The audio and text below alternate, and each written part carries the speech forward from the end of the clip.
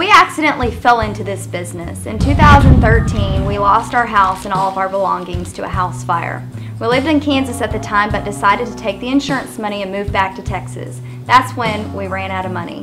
We needed furniture for our family, so I decided to take the plunge and just decided to explore and build things. I am the mother of five children, two girls and three boys.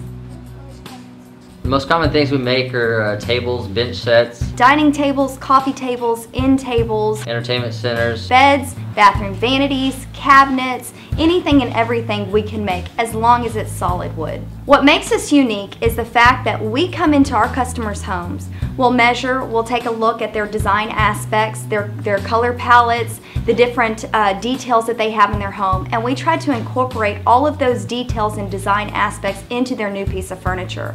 I'll then go over things um, like design and customizable options, color, size, all different types of dimensions, and from there we start to build their piece of furniture exactly the way that it was meant to fit into their home. uh, yeah, we uh, sand, a paint, a stain, uh, whatever, whatever needs to be done.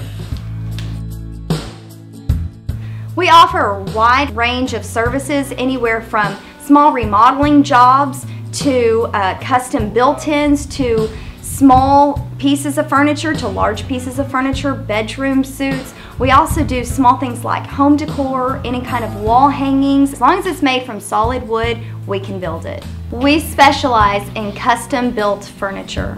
All of our pieces are custom built to fit inside your home. I am Dixie Dodd, I'm Ronnie Dodd. and, we, are Southern Home.